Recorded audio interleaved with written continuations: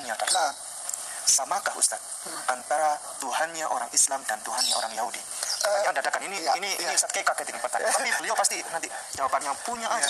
Kayak gini, mas- Ya, shalom bagi kita semua di mana pun kita berada pada saat ini. Kiranya kita semua tetap berada dalam keadaan sehat dan apa pun yang merupakan aktivitas kita sepanjang hari ini. Kiranya Tuhan Yesus memberkati. Dan kembali berjumpa lagi di channel kita ini yaitu Zemayan Yassin. Terima kasih buat teman-teman semua dan juga para sahabat yang sudah mendukung perkembangan channel ini dengan setia. Dan kiranya kita tetap menggunakannya untuk menjadi berkat bagi semua orang. Nah teman-teman pada video kali ini saya akan menanggapi jawaban dari uh, Ustadz Kainama ya, di mana dia menjawab pertanyaan dari Ipung Atria. Dia berkata bahwa Allahnya Yahudi atau Tuhannya Yahudi sama dengan Tuhannya Islam. Dan kemudian dia berkata bahwa di dalam Alkitab Ismail itu tidak pernah dikatakan sebagai keledai liar dan juga terkait surga yang dia bicarakan bahwa surganya Yahudi dengan surganya mereka itu sama. Oleh karena itu mari kita simak saja videonya yang berikut ini. Pertanyaannya adalah, samakah Ustaz antara Tuhannya orang Islam dan Tuhannya orang Yahudi? Pertanyaan dadakan ini, iya, ini, ini iya. Ustaz kayak kaget ini pertanyaan. Tapi beliau pasti nanti jawabannya punya aja. kayak gini. Masalahnya begini, eh, jawabannya dilihat dari sisi mana dulu? Iya, Ya, eh, Tuhannya sama. iya, Apakah Tuhannya sama antara Yahudi dengan eh, Islam? Lihat dari sisi Yahudi. Iya. Namanya Rabbi Chaim Mintz. Chaim M I N T Z. Chaim Mintz. Beliau bilang sama. Dari kata Alecha. Eh, bukan eh, bu- bu- eh, Elohim itu adalah eh, kata yang sudah diberikan imbuhan im. Artinya plural majestic, bukan plural satu itunya jadi plural jadi banyak. Salah kepada saudara Kristen, salah jika dibilang eh, Elohim itu plural eh, sebagai gambaran Trinitas. Anda salah, mohon maaf jangan marah. Salah. Karena Elohim itu pluralnya untuk plural majestic, majesty, kemuliaan, keagungan. Eh, sementara dari Islam di dalam Al-Quranul Karim tertulis bahwa Allahnya itu adalah Allahnya Nabi Ibrahim, Allahnya Yakub, Allahnya Ishak, Allahnya Ismail, Allahnya Musa, Allahnya Isa. Lalu bagaimana mungkin saya berani bilang itu berbeda? Sehingga begini, mungkin ada beberapa hal yang dipengaruhi oleh perkembangan keyahudian. Sehingga banyak orang mengira bahwa Tuhan yang disembah itu berbeda. Tidak, eh, itu adalah masukan dari eh, pemahaman teologikal Kristen, yaitu ketika dibacakan kejadian 16.12. Sekali lagi, kejadian 16.12. Di situlah awal mula yang yang seperti memisahkan antara eh, keislaman secara eh, apa ya bukan eh, orang Islam nggak mau bilang teos lah ketuhanan.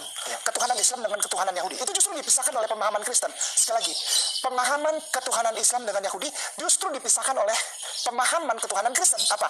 Kejadian 16-12 di situ tidak pernah ada tulisan eh, keturunan Ismail itu seperti keledai liar. Tidak pernah. Tidak ada. Sekali lagi saya tekankan tidak ada. Pertanyaan berikutnya. Adalah, Nah. kalau misalnya Yahudi dan Islam itu Tuhannya sama, Nah. berarti surganya sama dong? seharusnya sama Ah, berarti masuk Yahudi masuk surga juga? Enggak Masuk Islam masuk surga, Hmm. masuk Yahudi masuk Islam masuk surga juga? Se- menurut saya yang Islam ya, menurut Iya. iman Islam ya, ini bukan untuk menghina agama Yahudi bukan. Maksudnya gini loh, karena seorang muslimin itu dianggap orang-orang beriman jika dia mengucapkan asyhadu alla ilaha illallah wa asyhadu anna muhammad rasulullah. Ah, itu dia. Gitu. Jadi bukan saya menghina atau enggak. Menurut iman saya, Ya. itu Tuhannya sama. Tapi masalah surganya itu Allah alam bisa kenapa? Karena di dalam Islam, siapa pun Anda yang beragama Tuhannya itu sama, tapi ketika Rasulullah datang, Anda mengikuti Rasulullah. Betul.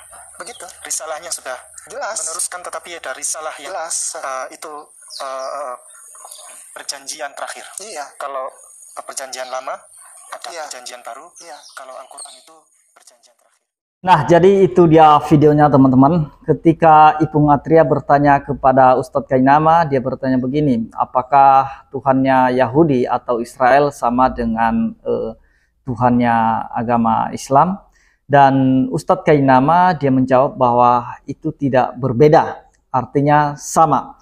Dengan dasar karena ada nama tokoh-tokoh Alkitab yang ada di dalam kitab mereka. Seperti di dalam Alkitab ada Ibrahim, ada Allahnya Ishak, ada Allahnya Yakub, ada Allahnya Musa, dan lain sebagainya. Dan Ustadz Kainama dia mendasarkan argumennya ke situ. Oh, kalau Allah yang ada di dalam Alkitab Allahnya Ibrahim, Ishak dan Yakub berarti sama dong seperti yang ada di dalam kitab kami. Di sana juga ada Ibrahim, ada Ishak, ada Yakub, ada Ismail dan lain sebagainya. Dan dia mengatakan bahwa justru pemahaman orang Kristenlah yang memisahkan antara Tuhannya eh, Yahudi dengan Tuhannya Islam. Nah, dia berkata begitu kan, bahwa pemahaman Kristenlah yang memisahkan itu. Sebenarnya sama Tuhannya Yahudi dengan Tuhannya umat Muslim sama. Nah, teman-teman, sebenarnya argumen Kainama ini merupakan argumen yang paling lemah ya. Nah, saya mau katakan bahwa Allahnya orang Yahudi, Tuhannya orang Israel, Allahnya orang Israel adalah YHWH yang di mana kemudian nanti datang inkarnasi menjadi manusia. Istilahnya inkarnasi menjadi manusia sekalipun Yahudi tidak mempercayai inkarnasinya. Tetapi mereka percaya kepada Allah, YHWH, Elohim, Adonai. Nah banyak sebutan kepada Allah mereka. Karena mereka tidak bisa memanggil YHWH tetapi menyebutnya Adonai. Dan juga seperti yang disampaikan oleh Ustadz Kainaman tadi bahwa Elohim itu bukanlah e, plural banyak ya, tetapi plural yang dimaksud di situ plural e, majestic, artinya bahwa keagungan, kemuliaan. Nah, teman-teman, e, di situlah keliru Ustadz Kainama ketika dia mempersempit makna daripada Elohim itu. Sebenarnya Elohim ini adalah bentuk jamak dari kata Eloah. Nah, sedangkan Eloah itu adalah bentuk tunggal dari Elohim. Nah, jadi sudah jelas bahwa seperti yang disampaikan dalam kitab suci Taurat, itu sudah jelas tentang nama Elohim bahwa itu plural. Musa dalam tulisannya dia berkata bahwa marilah kita. Nah, marilah kita menciptakan manusia dan juga ada firman Allah yang ketika ada kekacauan di Babel di mana Allah berkata, "Marilah kita mengacaukan bahasa mereka." Nah, Allah berkata di situ kita yang artinya bahwa jamak lebih dari satu. Perhatikan sekali lagi bahwa Elohim itu bentuk jamak dari Eloah dan Eloah bentuk tunggal dari Elohim. Nah, itu sudah jelas ya bahwa Yahudi Israel mengenal Allah YHWH. Sekali lagi Allah YHWH, juru selamat manusia. Itu di dalam Yesaya 43, mari kita lihat. Itulah Allah yang dipercayai oleh Israel atau Yahudi. Di dalam Yesaya 43, mari kita melihat ayat yang ke-11. Di sana dikatakan, Aku, akulah Tuhan, dan tidak ada juru selamat selain daripadaku. Aku, akulah YHWH. Nah, sekalipun Israel, Yahudi tidak menyebut YHWH, tetapi menyebutnya Adonai. Aku, akulah Tuhan, akulah Adonai, dan tidak ada juru selamat selain daripadaku. Perhatikan Allah di sini adalah juru selamat. Sebelum dia inkarnasi, sebelum dia datang dalam rupa manusia. Nah, kemudian ada nubuatan-nubuatan tentang kedatangannya di dunia ini. Dan itu tergenapi di dalam Yesus Kristus. Ketika dia lahir, malaikat memberitahukan kepada para gembala bahwa hari ini telah lahir bagimu juru selamat, yaitu Kristus Tuhan di kota Daud. Hari ini telah lahir bagimu juru selamat. Juru selamat yang mana? yang ada di dalam Yesaya 43 tadi. Telah datang bagimu juru selamat. Hari ini telah hadir bagimu juru selamat. Juru selamat yang mana? Yaitu YHWH tadi. Adonai tadi. Nah, YHWH yang artinya Allah menyelamatkan. Allah penyelamat.